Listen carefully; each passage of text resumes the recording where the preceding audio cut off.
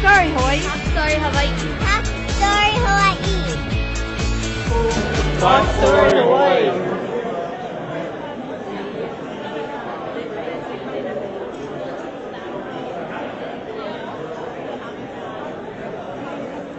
Aloha.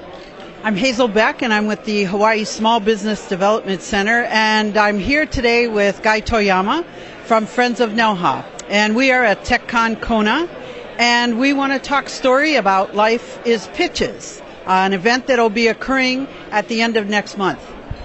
Indeed, it is, and thank you, Hazel.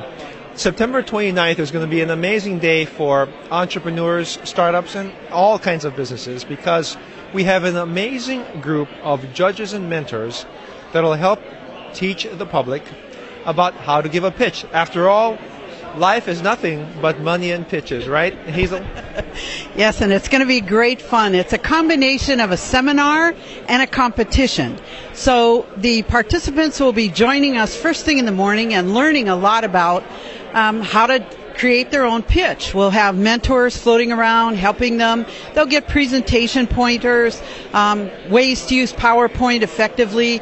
But at the end of the day, their feet are going to be held to the fire and they are going to be in a competition, American Idol style, with our three judges. And someone will win uh, with the best pitch of the day. So it'll probably be a three minute pitch they'll be asked to do and it's really a once in a lifetime opportunity for 25 business owners to to learn from the masters here. We actually have Jim Lally, who is a Kleiner Perkin former partner, here joining us as a mentor judge for the for the day. And I, you know, I, Hazel, I believe that we're going to find it to be a quite dramatic day. We might even find people tearing when they get their business shot down. Who knows? It'll be fun. We're, we're going to call it Shark Tank Island style.